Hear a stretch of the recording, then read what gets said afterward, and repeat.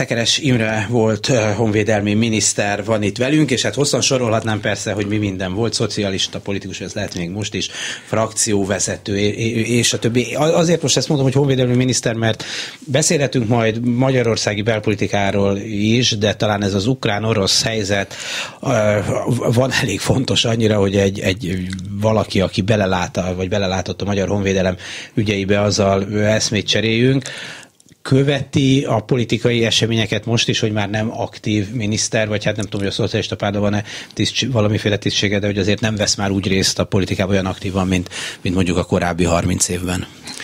Igen, követem, és részt veszek a Magyar Szocialista Párt szakpolitikai és politikai programjainak kidolgozásában ez szerintem becsületbeli kötelessége mindenkinek, aki korábban tisztségben volt.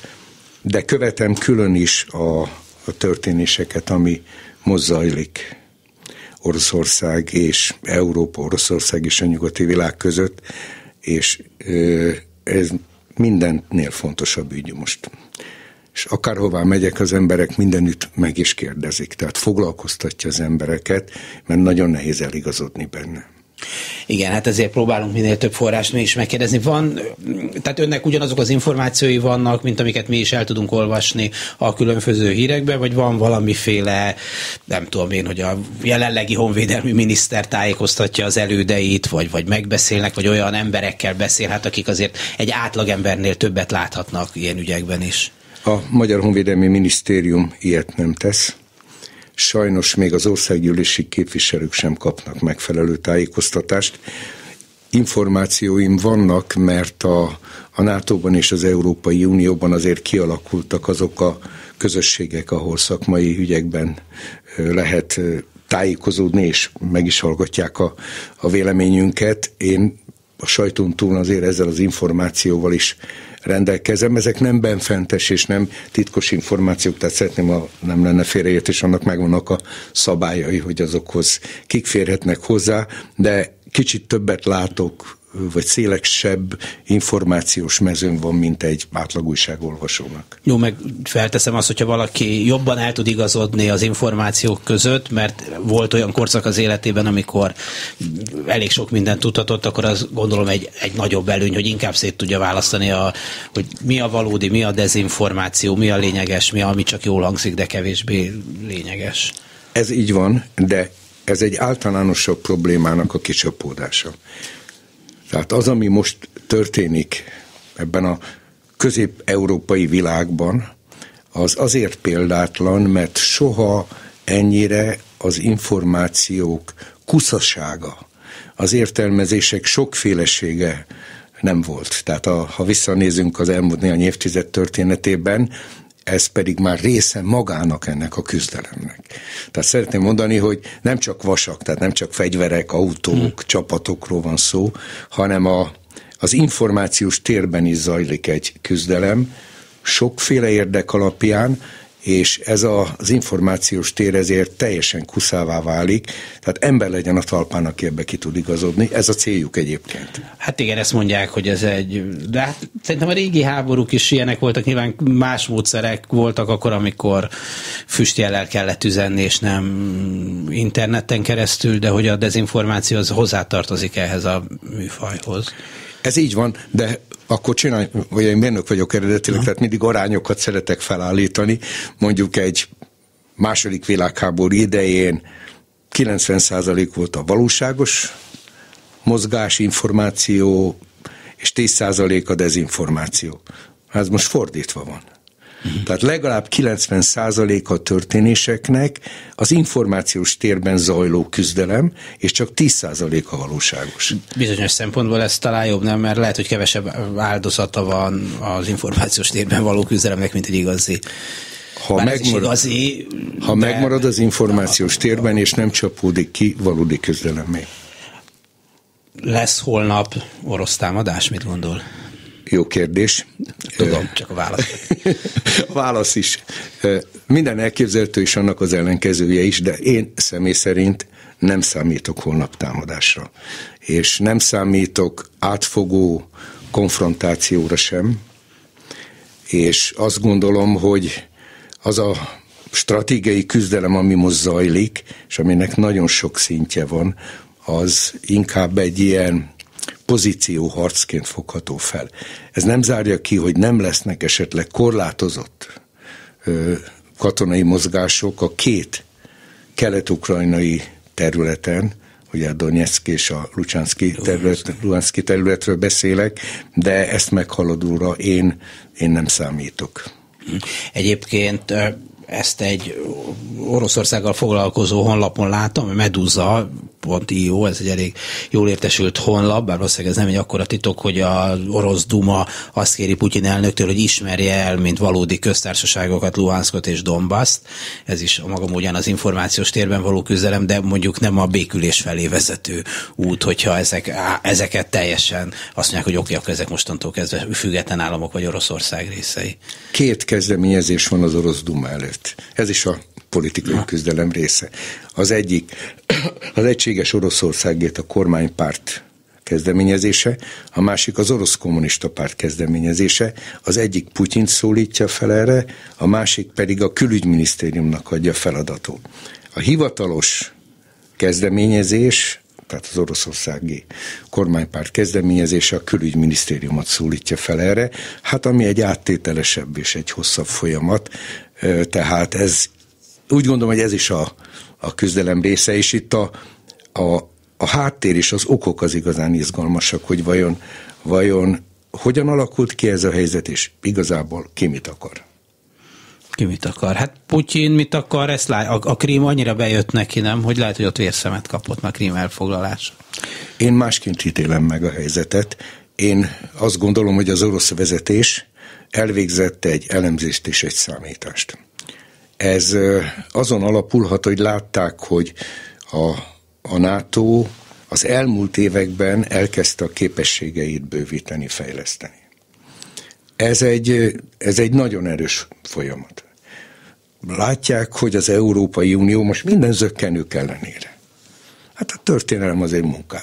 Megy az egységes irányba. És valószínű, hogy azt mérlegelhették, hogy amíg ez a két folyamat nem ér el ennél magasabb szintet, addig több esélyük van alacsonyabb költségen a saját pozíciójukat javítani. Mert később ez esetleg már nagyon drága. Tehát most még jobb izmozni, mert még gyengébb a NATO meg az Európai nem, Unió, még... aztán, hogyha erősebb lesz, akkor... Ak- akkor már, akkor már erre, de ez, a, ez a, az az elemzésnek a, a, a logikája lehet. Az, hogy a, a cél mi, az véletőleg nagyon korlátozott.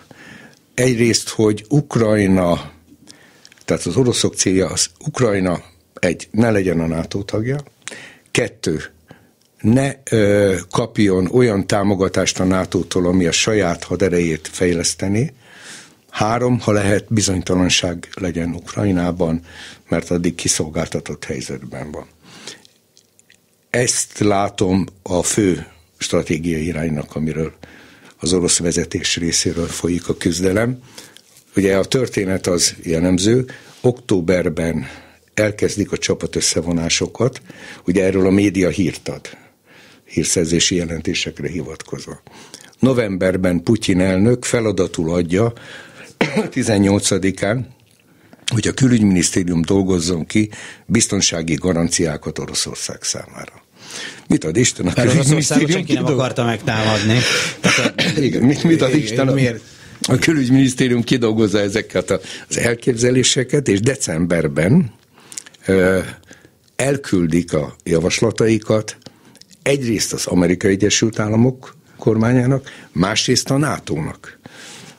Két javaslat nem mindenben egyezik meg egymással, csak ezt szeretném hangsúlyozni, és előfordul az a példátlan eset, hogy meg sem várva a diplomáciai választ, két nap múlva nyilvánosságra is hozzák ezeket a kezdeményezéseket. Azért mondom el ilyen részletesen, mert ebből jobban kiderül, hogy itt tulajdonképpen mi zajlik, hogy ez egy, ez egy pozícióharc tulajdonképpen, és, és nagyon sokfajta érdek és hát viszonyrendszer tükröződik benne.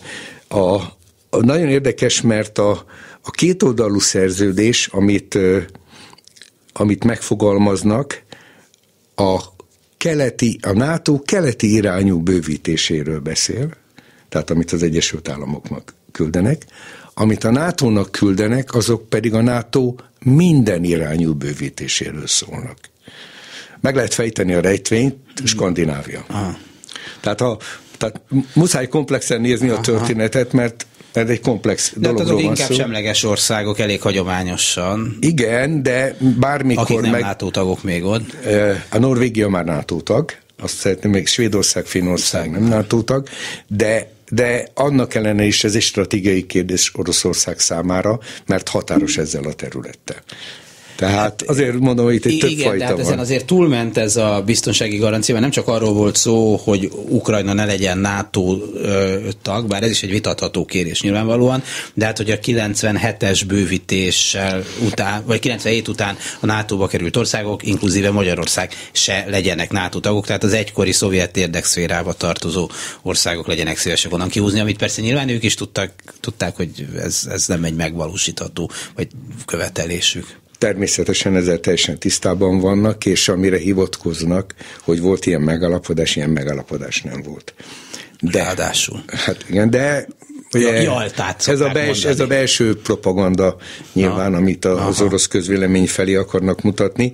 Többről van szó. A, az orosz javaslatban például van olyan, hogy a középhatótávolságú fegyverekről tárgyalni kell azok leszereléséről a szárazföldi ilyen fegyverekről. Nincs szó a tengeri fe- telepítésű fegyverekről. Magyarul, ha ebben megállapodnak, megállapodnának esetleg, az Oroszország számára stratégiai előny lenne, mert szárazföldön paritás lenne, igen. de hát ott van a, a Fekete-tengeri flotta, meg a Balti-tengeri flotta, amelynek a középható távolságú rakétái Londonig érnek el. A másik ilyen példa csak hogy értető legyen, ez miért nem elfogadható, az ugye arról szól, hogy az amerikai Egyesült Államok vonja ki Európából a nukleáris fegyvereit. Ez úgy van megfogalmazva, hogy Oroszország és az Egyesült Államok állapodjon meg arról, hogy csak saját nemzeti határain belül tartatom fegyvereket. Ugye ennek az a következmény, hogy az amerikaiaknak Európából ki kell vonni. Igen ám, de van egy Kaliningrad nevű terület, Igen. Európa középső Igen. részén, amelyik orosz terület elkerülése véget, tehát nemzeti határokon belül ő ott állomásoztathatna atomfegyvereket. Ja. És a harmadik Jó, ilyen, hogy... igen. Igen, könny, hát igen. Kaliningrad, igen. Tehát a, a harmadik javaslat Tehát, ez a... Bent van, a földrajzilag bent van. Ben, persze, talán egy német, persze, hát a igen, ter, területen, tehát ezek nyilván így elfogadhatatlanok. Tehát a valódi cél nem az, hogy Európának egy új biztonsági szerkezete alakuljon ki, hanem valószínű, hogy a valódi cél itt az Ukrajna körüli pozícionálás lehet, csak hát ezt a diplomáciai küzdelemben így akarják lejátszani, mert azt mondják, hogy nézzenek oda, se a NATO, se az Egyesült Államok nem akar, ki, nem akar új megállapodásokat a biztonság érdekében, tehát hogy ez a propaganda háborúnak a része szintén. Aha. Á, ugye Ukrajnára, Oroszországban nyilván, vagy a putyini világban sokan úgy tekintenek, mint ami a, nem csak az orosz birodalom része volt, mint Belarus is, hanem a, hanem a szovjet birodalom. Tehát nem csak a cári birodalom, úgy értem, hanem a szovjet birodalom része is volt, és hát a putyini politikában felhangzik időnként egy ilyen, amit lehet állítsunk vissza a, a, a, a Szovjetunióból, miközben hát tudjuk azt a 80-as évek történetéből, hogy nem bírta Oroszország ezeket a berem területeit, amik irgalmatlan nagyok amúgy, és sok emberük van, nem bírta eltartani őket, tehát egy súlyos gazdasági konfliktust okozott, hogy ezeket valahogyan támogatni kellett. És ez Igen. gondolom ez a helyzet nem sokat javult, javulna, vagy hogyha ma újra vissza lehetne ebből minél többet nyerni. Én Tehát azt, pénzt kéne beletenni ma is, na. Én azt feltételezem, hogy ennél korlátozottabbak az orosz célok, pontosan emiatt.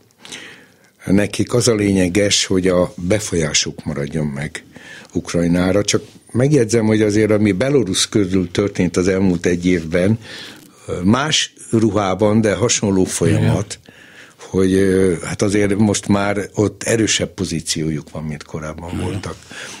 én szerintem Ukrajnában is ez a céljuk. Ehheznek még megfizethető ár azok a szankciók, amelyek eddig is ugye Krim miatt érik egyébként Oroszországot, vagy amiket esetleg nyugat most bevezetne, de ennél nagyobb árat nem tud Oroszország és nem is akar fizetni. Azt feltételezem, hogy nem is fog ezen túllépni.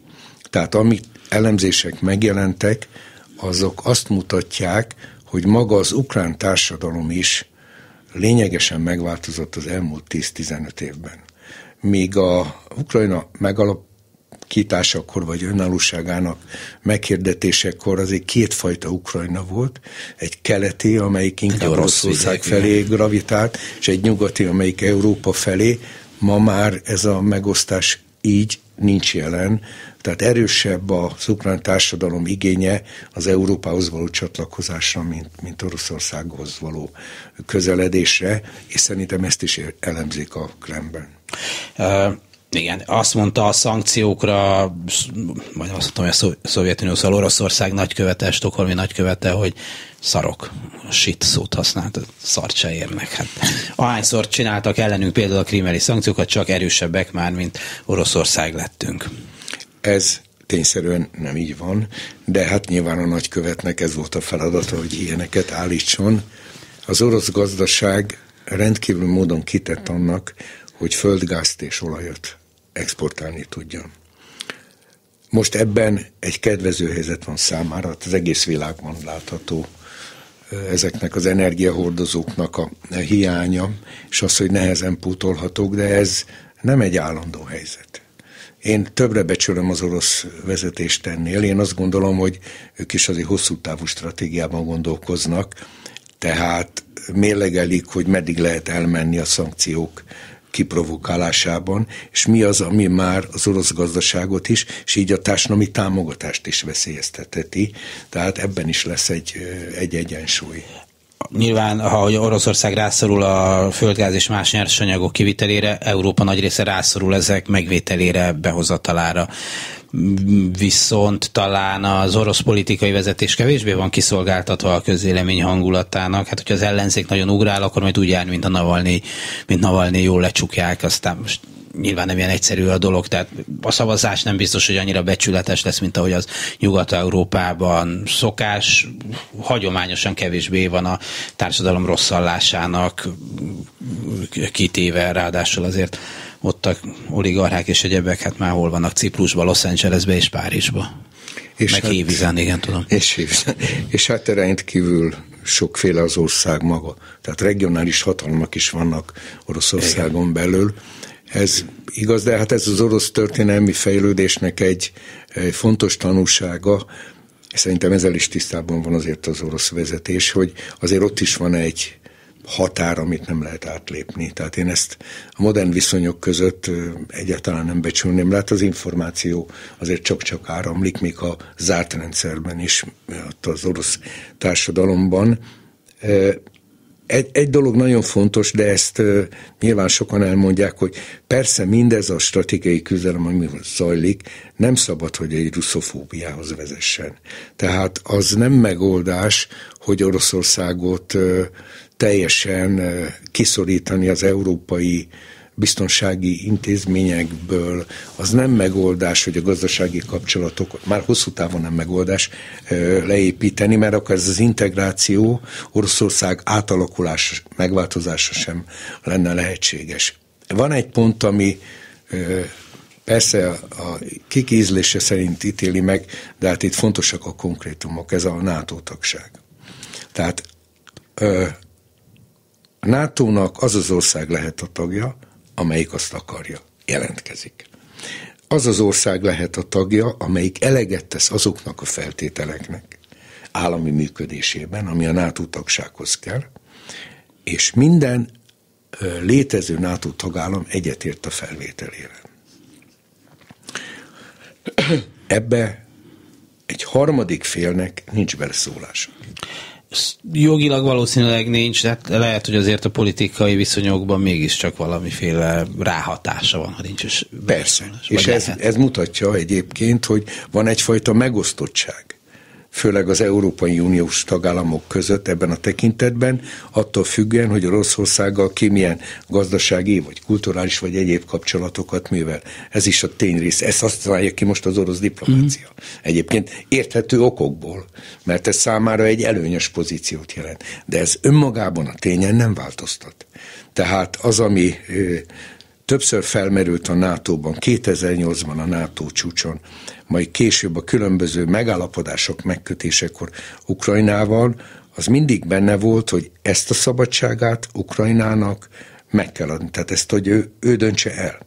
Hogy ezt mikor dönti el, és ebben ki milyen hatással tud rá lenni, az természetesen, mint hogy beszéltünk róla, eltérő érdekeket fog kifejezésre juttatni, de ezt megvonni, ezt nem lehet. Tehát nagyon-nagyon leegyszerűsítve Oroszországot senki nem fenyegeti, semmilyen katonai biztonsági fenyegetés nincs.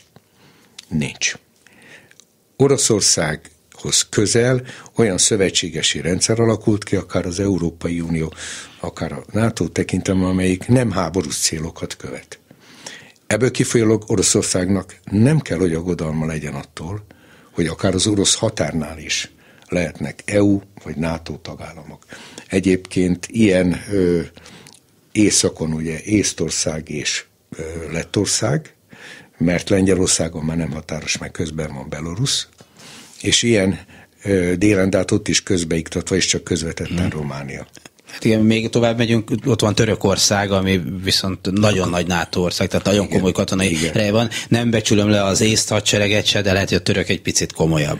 De ott azért a Kaukázusban, és ez egy külön rádió műsor ott van egy kis témája lehetne, zóna, hogy, bocsánat, igen, ott van azért van egy ütköző van egy ütköző zóna, zóna és nem véletlenül Ukrajna mellett a másik neuralgikus pont Grúzia felvétel a NATO-ba. Tehát az, hogyha Oroszországot ne, biztonságát nem fenyegeti, sem a NATO, se az Európai Unió. Ha szabadon döntsen, kell dönteniük az országoknak, hogy melyik szövetségesi rendszerbe akarnak tartozni, ez az két pillére szerintem annak, amit a ma úgymond nyugat, ebben most Közép-Európát is belértem, szerintem joggal érvelhet és joggal képviselheti, és ez az a fix pont, ami, amiben nem lehet hátrálni amiben nem lehet hátrálni. Szekeres Imre volt honvédelmi miniszter, szocialista politikus továbbra is a vendégünk.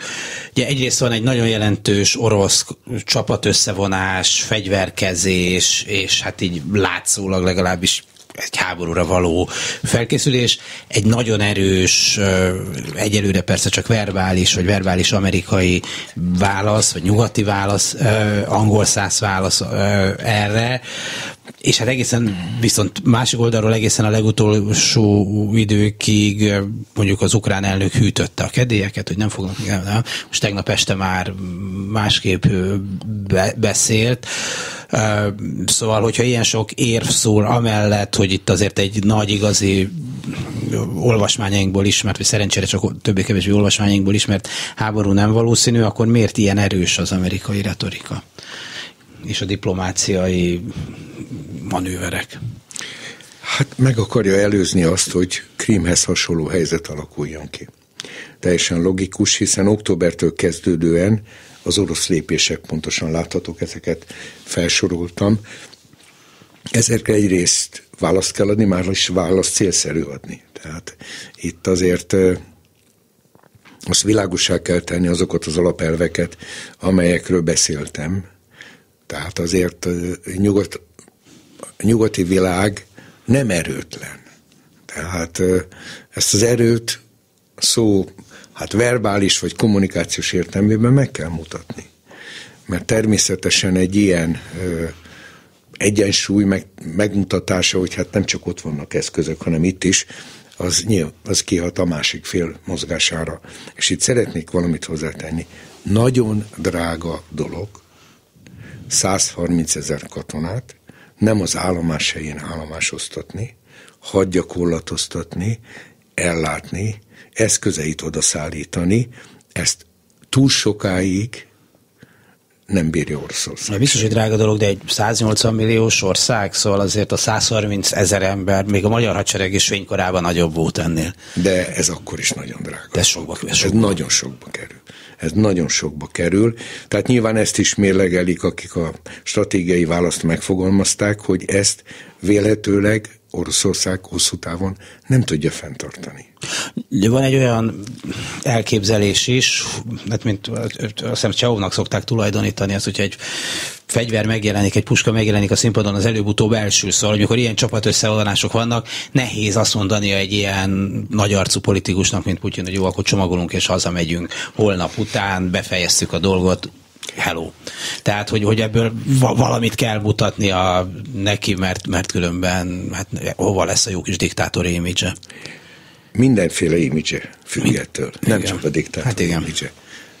Tehát belekezdett egy ilyen, az orosz vezetés belekezdett egy ilyen erőpróbába, a saját érdeke az, hogy ezt valamilyen eredménnyel zárja le. Már számára. Igen, igen, igen. Számára létező eredménye. Ha ez az eredmény az, hogy elbizonytalanodik az Ukrajna NATO felvételének a, az időrendje. Már az is eredmény. Csak azt nehéz megmutatni a Pravda címlapon. Eh, de, meg lehet mutatni. Lehet. Meg lehet mutatni. Hát meg kell nézni az elmúlt két-három napban, hogy mennyi információ jelent meg csak arról, hogy most akkor Ukrajna akar NATO tagállam lenni, vagy nem akar hogy beáldozza ezt, vagy nem áldozza be, hát legalább óránként változnak az ezzel kapcsolatos hírek. Ezt lehet prezentálni otthon, hogy kérem szépen, hát megállítottuk ezt a folyamatot. Lehet ennél tovább menni, hogy a, a két régió Ukrajna részeként maradva olyan önállósággal rendelkezzen, amelyik mindig vagy hosszú távon fékezni tudja Ukrajna NATO tagságát. Ez a Donbass és Duhán. Igen, az, az, is, az is lehet eredmény. Tehát a meccset ugye nem jöhet le ugye a pályára, mint a magyar foci válogatott, hogy csak gólt kap, tehát rugnia is kell ahhoz, hogy hát ez igen. otthon egyébként a presztízsét megerősítse.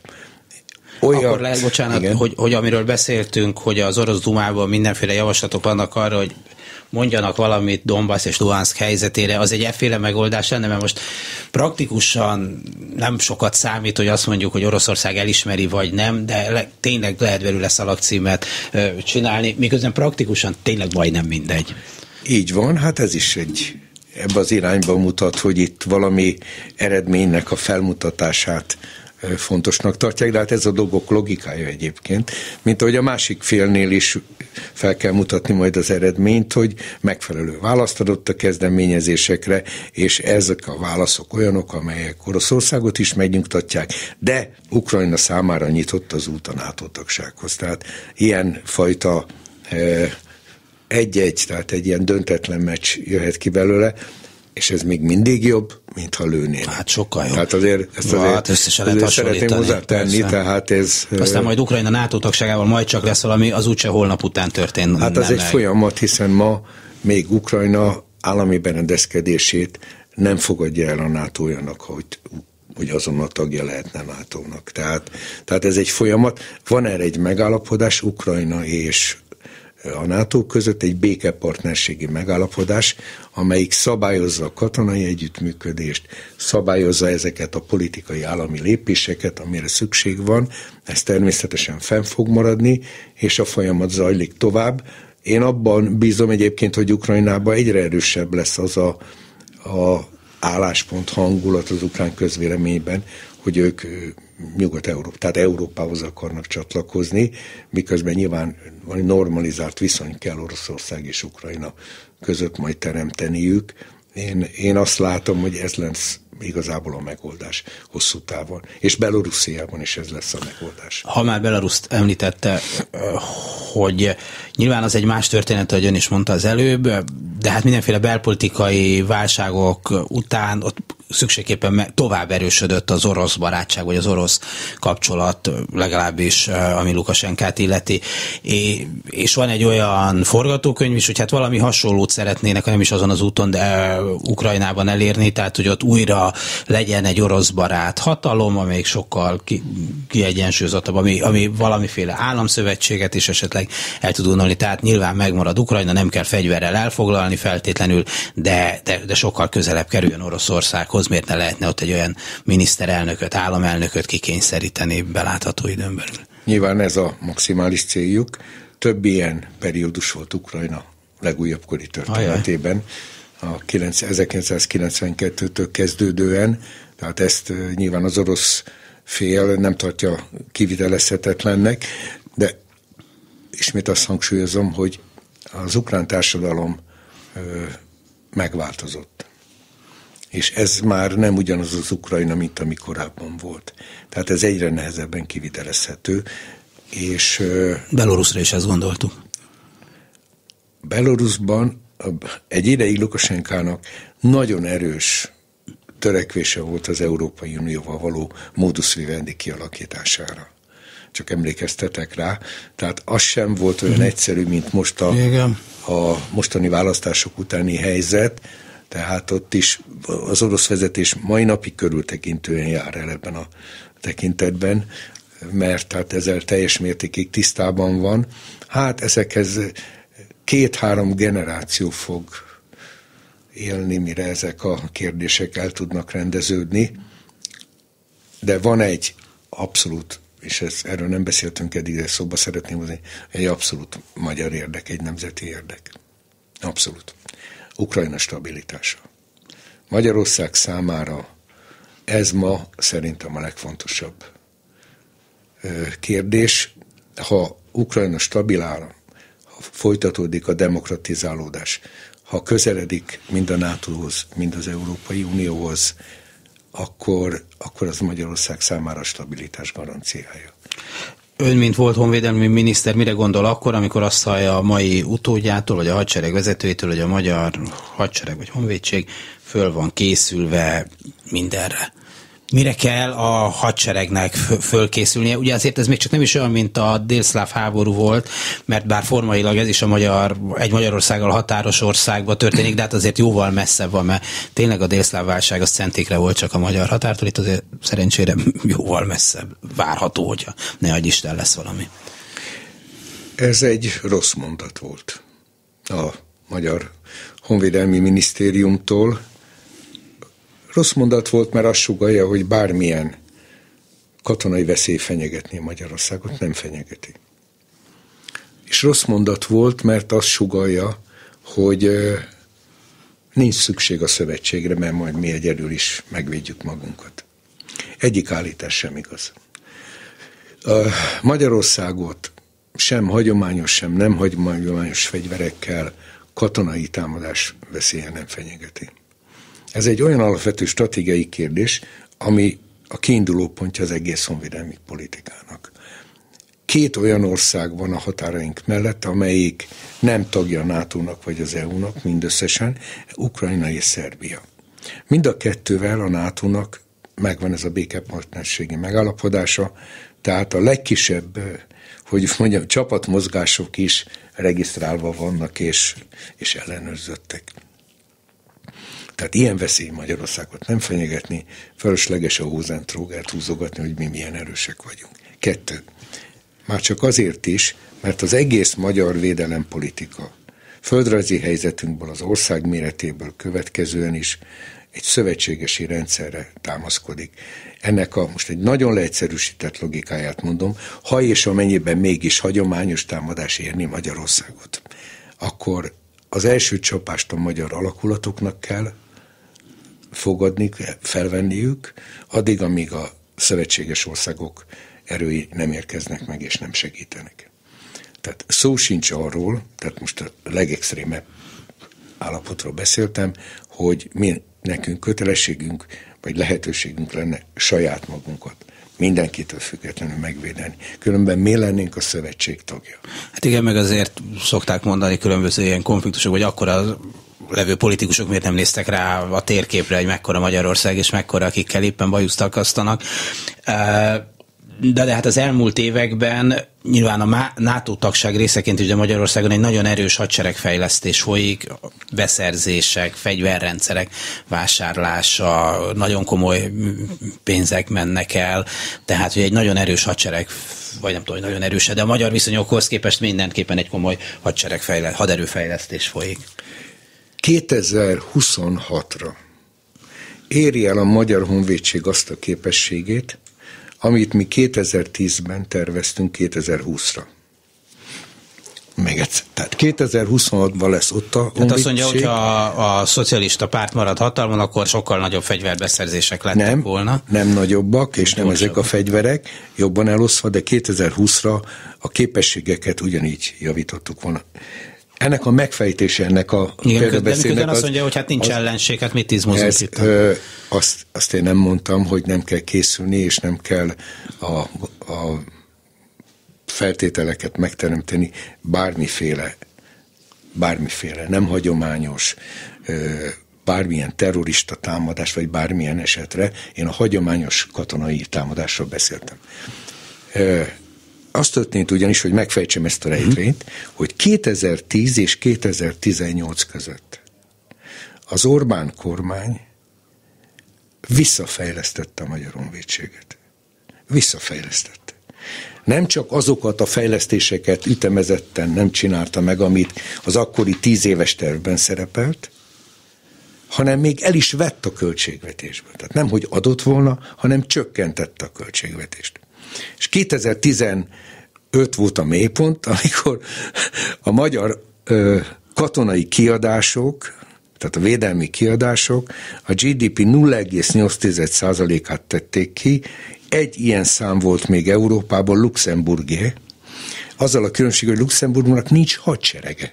Tehát ő úgy költött ilyen védelmi hmm. kiadásokra, nincs is hadserege. Ke- két százalékot szokott a NATO igen, előírni igen, védelmi 0, Tehát egy nyolc éves periódusban tulajdonképpen lerabolták a Magyar Honvédséget.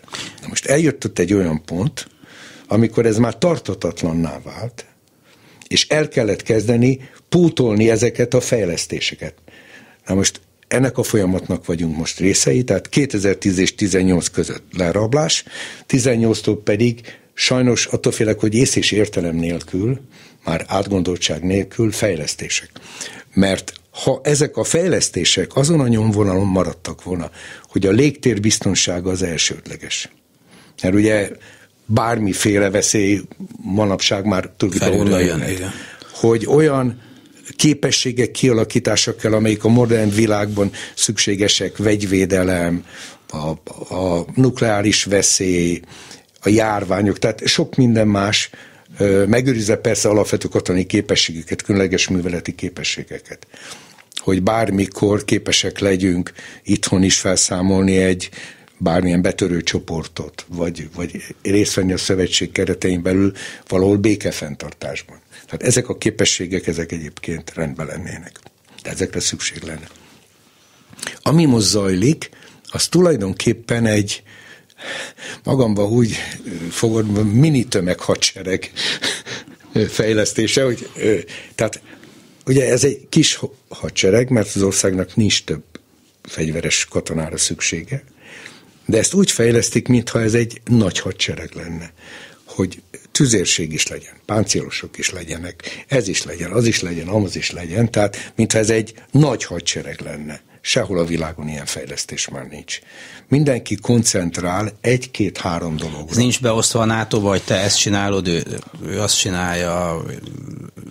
A NATO-ban ennyire azért nem szigorú a rendszer, de van egy tervezés, pont egy ilyen, amire utaltam, a tíz éves tervezés, ahol a, hogy ország eldönti, hogy ő milyen képességeket akar fejleszteni, de azt összhangba kell hozni a többi ország képességfejlesztésével. Tehát ilyenfajta összehangolás folyik, de ez nem jelenti azt, hogy mindenbe beleszólnának. Hmm. Tehát ez nem jelenti azt.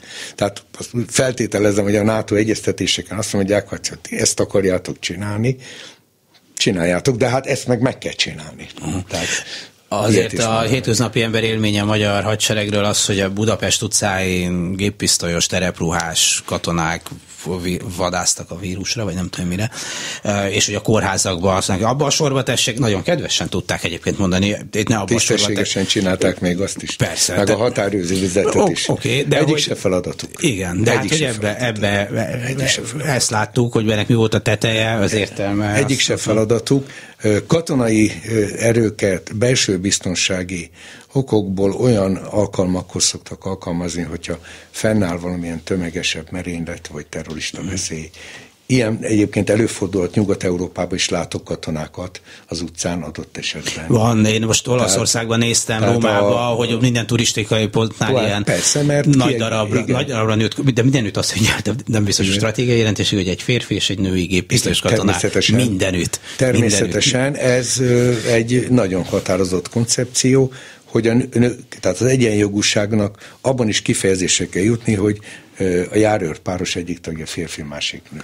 Közben Bolgár Gyuri, aki a szemünk és a fülünk azt üzeni, Igen. hogy az oroszok most, oroszok most jelentették be, hogy csapataik egy részét visszavonják az ukrán határról ha ez tényleg így van, ez jó hír, illetve a bejelentik az, még nem következik, hogy visszavonják, de hogy minden esetre ez egy jobb hír, mint azt mondanák, hogy nem négy nap múlva véget ér a hadgyakorlat Belorussziában, onnan is véletőleg akkor visszavonják a csapatokat, tehát én azt gondolom, hogy hát, amit erről, eddig erről beszéltünk, ez a hír ezt erősíti meg. Uh-huh, uh-huh. Jó, azt most mondta, a BBC honlapján három, a tetején három hír van arról, hogy Djokovic mit csinál, ez kicsit nagyobb hír, most úgy látom, hát, mint a, a címlapon legalábbis. Ilyen a világ. Mind, mind, mind a kettő nagy hír. Azért itt egy nagyon erős nemzetközi diplomáciai offenzíva is van, nem csak Orbán Viktor járt eh, Moszkvába, nem ugye a francia elnök Kievbe, és, és, és hát a, igen, a német elnök éppen most. Tudja, mi a különbség a, ezek között az utak között? Na? Hát, hogy uh, Ukrajnába is elmentek. Jó, igen, hogy nem hagyták ki. A magyar miniszterelnök csak Moszkvába ment el. Hát igen, miközben Magyarország határos Ukrajnával, tehát egy okkal több lenne, hogy meg, meg nagy magyar kisebbség, vagy, vagy már nem olyan nagyon nagy, de mégiscsak magyar kisebbség él Ukrajnában, és felteszem, német kisebbség már nincsen. Nincs. Azt hiszem, ha volt is valaha, akkor már az biztos, biztos nem.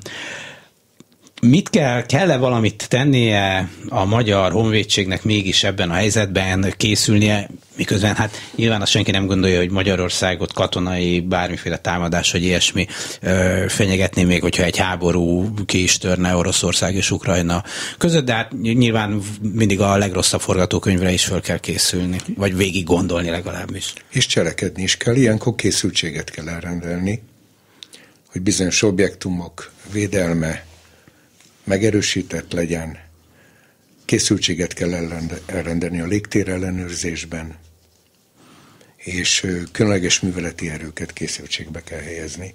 Ezeket nem azért, hogy most bármit lépni akarnánk offenzíven, de ha bármi történik, akár véletlenszerűen, vagy egy elszabadult fegyverzet révén, vagy bármi révén, hát akkor az ország biztonsága garantált legyen. Tehát egyébként, ha a mai honvédelmi vezetés erről beszélt volna, akkor azt értem. Mert ilyenkor tényleg készültséget kell elrendelni. De hát ugye nem erről beszéltek. Ezért nem jó, ha a, a honvédséget, a honvédelmet átszövi nagyon erősen a politika. Én tudom a katonatisztektől, hogy nem is nagyon szeretik az ilyen világot. Mert az ő emberük a miniszter, hát egy volt katona a miniszter. Hát az egy dolog, de akkor se szeretik az ilyen világot, ahol a politika ilyen mértékig árnyékot vet rájuk, és, és megfosztja attól a nevezük így önbecsüléstől, autonómiától, amit egy katonatiszti kar fontosnak, nagyon jól képzett emberekről van szó. Úgy csak azok gondolkoztam, hogy szerintem inkább a, ilyen fontos kérdésekről civilek, vagy, vagy nagy rész civilek döntsenek, ne katonák. Szóval ez, ez politikai kérdés, nem katonai szakmai kérdés. Talán nem is véletlen, hogy a világ nagy részében katonák általában nem is szoktak honvédelmi miniszterek lenni. Ez így van. Ez így van. A, az az egyensúly, amit egy kormányzat politikai vezetése és a katonai vezetés között fenn kell tartani, az, az most Magyarországon nincs meg. Szeretném hangsúlyozni, hogy ez egy többpólusú rendszer. És ez nem csak azért, mert a magyar történelmi hagyományokra ez, ez felel meg, hanem ez észszerű. Van egy hadseregfőparancsnok a köztársasági elnök bizonyos jogosítványokkal. Van az országgyűlés, amelyeknek nagyon erős diszkrecionális jogai vannak, hogy mit lehet és mit rendelhet el és, és mikor, és van egy politikai kormány, amelynek szintén van felelőssége, és van egy, vagy volt egy honvédvezérkar, amelyiknek szintén meg volt a maga hatásköre. Az nem jó, ha a politika anélkül dönt, hogy a katonai információkkal, vagy a katonai véleményekkel nem rendelkezne, és az se jó, ha a katonák döntenek és politizálnak, mert az, az félreviheti a dolgokat. Ebben a négyesben kell a, az egyensúlyt megtartani, és ez lehet egy, egy olyan, amikor a társadalmi, a politikai érdek és a biztonsági érdeket meg lehet teremteni összhangját.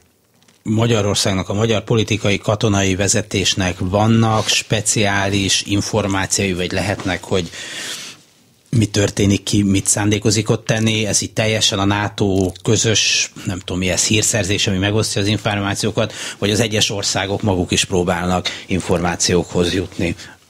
Vannak ilyenek, és mindkettőre szükség van arra is, hogy saját információkat szerezzenek, és arra is, hogy a szövetségen belül ezeket megosszák egymással, mert mindenkinek más a lehetősége.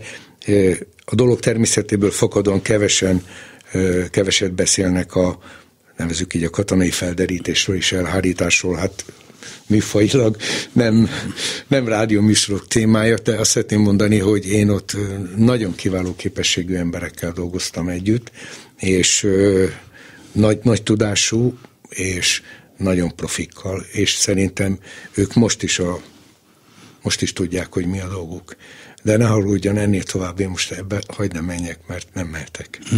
Hát jó, azért mióta a műholdakat föltalálták, meg, meg gondolom nagyon nagy amerikai erők vannak erre, erre mozósítva, tehát valószínűleg Szergej nem mehet ki a kantinban nélkül, hogy ne nem. látnák, hogyha nem akarják. Nem, nem mehet ki. Most azt hiszem vodkáért ment ki, vagy géppuskáért, ez nem azt, biztos. Azt is tudják. Azt is tudják. Szóval, és ez valószínűleg kölcsönös, tehát hogy azért a nagyon meglepő Persze. dolgokat már nem lehet csinálni. Én nagyon meglepődnék azon, hogyha nagyon meglepő dolgok lennének, mert az már a science fiction kategóriájába hát, hát az akármilyen modern hírszerzés és egy dolgot nem tud, hogy mi van az egyes vezetők fejébe, különösen egy, egy olyan országban, nagyon központosított, nagyon autokratikus, nem politikai testületek döntenek, hanem hát ott sem nyilván egy ember, de hogy relatíve nagyon kevés ember szándékán múlik az, hogy mi legyen. Gondolom ez az, amivel még nehéz megbirkózni a nagyon jó titkos szolgálatnak is. Igen. Tehát egy, egyre szűkszavú vagyok, Jó. érzem, hogy van a felderítésnek természetesen egy műszaki eszközökön alapuló része, és van a, az emberi tényezőkön alapuló része. Mindkettőre szükség van, és ez nem csak azt jelenti, hogy sajtócikkek elemzése, vagy találkozók, információszerzések, ennek, ennek nagyon sok fajta műfaja létezik. A a kapcsolatok, tehát a szövetségen belüli kapcsolatok is ilyenek, mert mindenki más típusú információkhoz is hozzájuthat, és, és ezekből kell levonni a következtetést. Tehát stratégiát úgy lehet felépíteni, sikeres stratégiát, ha minél többet tudsz a másik szándékairól. Hát nyilván.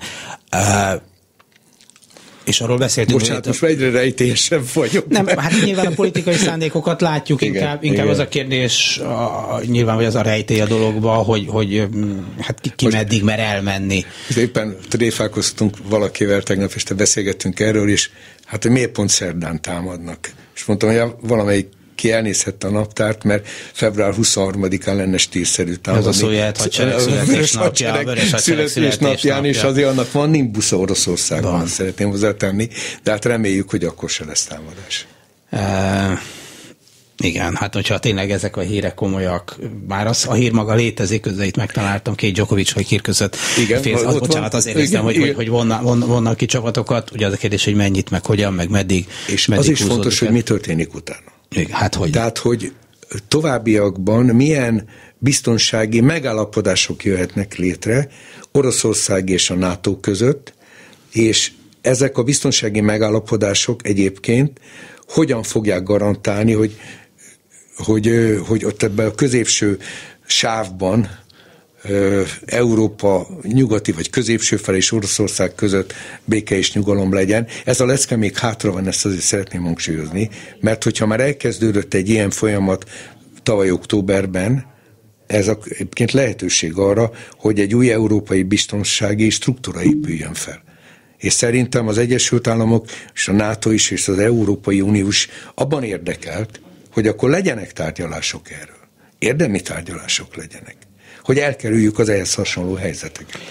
Hát nyilván ez a hosszabb távú megoldás. Egyébként, mivel itt nagyon optimista hangokat ütünk, meg tényleg 9.31-kor az jelent meg a BBC alapján, hogy egyes orosz csapatokat esetleg hátrébb vonnak, de 5 perccel korábbi hír az, hogy a brit külügyminiszter szerint nagy valószínűséggel bekövetkezhet az orosz támadás. Szóval azért ez még nem egy Igen, ez tegnap, nem esti, egy tegnap esti hír a, a brit védelmi minisztertől de megnéztem az eredeti angol szöveget, diplomatikusabban van megfogalmazva. Hát nyilván ez az ő szakmája, igen. Az én szakmám pedig az, hogy közérthetőbbé, vagy kellene, hogy legyen a szakmám. Hát akkor meglátjuk, hogy, hogy, hogy ebből, ebből hogyan lehet kijönni ebből a dologból. Nem gondolom, most ezt mérlegelik mindenütt. Izgalmas lesz a következő néhány hét. Nekünk egy nagyon fontos Magyarországnak, hogy Ukrajna stabil maradjon. Jó, hát volt egy ilyen magyarázata is, hogy esetleg a magyar politikában lehet egy olyan hátsó szándék, hogy ha Ukrajna egysége megbomlik, akkor itt is ott is leszakadhat róla valami. Nem szakad le. És ilyen szándék teljesen értelmetlen, és sehova nem vezet. Ezt, ezt szerintem a mai kormány is tudja, és nem hiszem, hogy ilyenbe gondolkodnának, vagy ha igen, akkor nagy baj van. Egyébként nincs erre utaló nincs. különösebb jelsz. Nincs, nincs. És azért, mint hogyha például a magyar külügyminiszter is ma a NATO-val, ma vagy tegnap a NATO-val kapcsolatban barátságosabb, vagy nem is tudom, olyan jó szó egy szövetségi rendszerben, szóval, hogy NATO hangot ütött meg, mint mondjuk az előző napokban. Nagyon nagy baj lenne, ha Magyarország nem lenne a NATO tagja nagyon nagy baj lenne. Akkor saját biztonsága és védelme érdekében nem ennyi pénzt kellene fordítani a katonai kiadásokra, hanem a dupláját vagy háromszorosát. Ezt kellene megkockáztatni. Hát is gondolom, az, nem tudom, akkor is kitámadná meg Magyarországot, de, de oké, okay, de hát ugye Ukrajnával kapcsolatban, ami mégis egy 40, majdnem 40 milliós ország, azt mondják, hogy ja, az orosz hadsereg elindul, akkor akkor, az, akkor elindulna, akkor azért ez, ez, ez az nem, nem, két, nem kétesélyes meccs lenne. Az ukrán hadsereg sokat fejlődött az elmúlt 5 évben, csak megjegyzem, újabb eszközökhöz is hozzájutott, csapásmérő ereje, nagyobb, mint korábban volt, tehát nyilván ezt az oroszoknak is mélegelni kell, ez, ezek soha nem statikus dolgok, itt mindenki saját pozícióját igyekszik erősíteni azért, hogy ne következzen be a fegyveres konfliktus. Tehát azt láttam a ukrán katonai vezetés nyilatkozataiból, hogy ezt külön hangsúlyozzák, hogy ez már nem az a szeretvedett hadsereg, ami 15 vagy 20 évvel ezelőtt volt. Igen, szokták azt a régi bölcsességet idézni, hogyha békét akarsz, készülj a háborúra. Így van. Köszönöm szépen Szekeres Imre volt honvédelmi miniszternek, hogy itt volt velünk ma reggel, és önöknek is köszönöm szépen az egész reggeli figyelmet.